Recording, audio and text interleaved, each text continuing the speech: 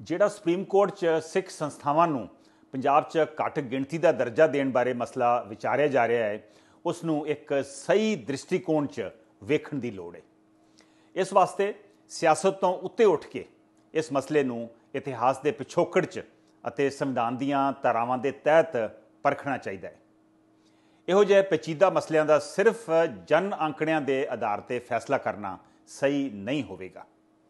ਇਸ 'ਚ ਕੋਈ ਸ਼ੱਕ ਨਹੀਂ ਕਿ ਇਸ ਵੇਲੇ ਮੌਜੂਦਾ ਪੰਜਾਬ 'ਚ ਸਿੱਖ ਭਾਈਚਾਰਾ ਬਹੁ ਗਿਣਤੀ 'ਚ ਪਰ ਇਸ ਬਹੁ ਗਿਣਤੀ ਦਾ ਆਧਾਰ ਹੈ ਹਰ 10 ਸਾਲਾਂ ਦੀ ਮਰਦਮਸ਼ੁਮਾਰੀ ਜਿਸ 'ਚ ਹਰ ਸ਼ਖਸ ਨੇ ਆਪਣੇ ਧਰਮ ਦਾ ਪ੍ਰਗਟਾਵਾ ਖੁਦ ਕਰਨਾ ਹੁੰਦਾ ਹੈ। ਐਸਜੀਪੀਸੀ ਵੱਲੋਂ ਚਲਾਈਆਂ ਜਾ ਰਹੀਆਂ ਸੰਸਥਾਵਾਂ 'ਚ 50% ਦੀ ਰਾਖਵਾਂ ਕਰਨ ਵਿੱਚ ਸਿਰਫ ਉਹ ਛੋਟਾ ਜਿਹਾ ਵਰਗ ਆਉਂਦਾ ਹੈ, ਜੋ ਸਿੱਖ ਧਰਮ ਦੇ ਅਸੂਲਾਂ ਦਾ ਪੂਰੀ ਤਰ੍ਹਾਂ ਪਾਲਣ ਕਰਦਾ ਹੈ। ਇਹ ਵਰਗ ਰਾਜ ਵਿੱਚ ਵਾਕਿਆ ਹੀ ਘੱਟ ਗਿਣਤੀ 'ਚ ਹੈ।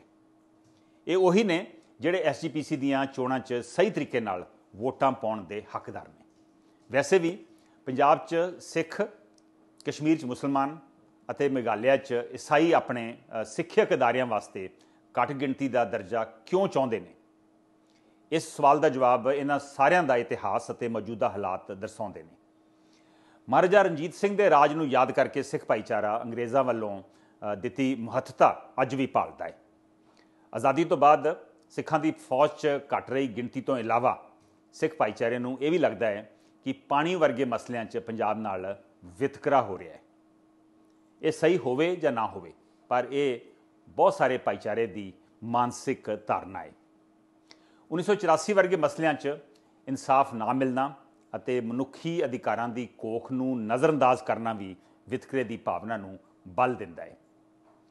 ਇਹੋ ਹੀ ਹਾਲ ਸ਼ਾਇਦ ਦੂਜੇ ਰਾਜਾਂ 'ਚ ਹੋਰ ਧਾਰਮਿਕ ਭਾਈਚਾਰਿਆਂ ਦਾ ਹੋ ਸਕਦਾ ਹੈ। ਉਹ ਉੱਥੇ ਸ਼ਾਇਦ ਸਿਰਫ ਗਿਣਤੀ 'ਚ ਬਹੁਮਤ 'ਚ ਨਜ਼ਰ ਆਉਂਦੇ ਹੋਣਗੇ, ਪਰ ਉਹਨਾਂ ਦੇ ਵੀ ਕਈ ਮਸਲੇ ਹੋ ਸਕਦੇ ਨੇ। ਹਾਂ, ਜੇ ਸਾਡੇ ਮੁਲਕ 'ਚ ਸੰਵਿਧਾਨ ਦੇ ਤਹਿਤ ਸਹੀ ਤਰੀਕੇ ਨਾਲ ਲੋਕਤੰਤਰ ਦੀ ਪਾਲਣਾ ਹੋਵੇ, ਤਾਂ ਇਹ ਬਹੁ ਗਿਣਤੀ ਅਤੇ ਘੱਟ ਗਿਣਤੀ ਦੇ ਮਸਲੇ ਦੀ ਕੋਈ ਮਹੱਤਤਾ ਨਹੀਂ ਹੋਵੇਗੀ। ਸਾਨੂੰ ਪਤਾ ਆ, ਅਸੀਂ ਆਸ ਕਰਦੇ ਹਾਂ ਕਿ ਸੁਪਰੀਮ ਕੋਰਟ ਇਹਨਾਂ ਸਾਰੇ ਮਸਲਿਆਂ ਉੱਤੇ ਜ਼ਰੂਰ ਵਿਚਾਰ ਕਰੇਗਾ।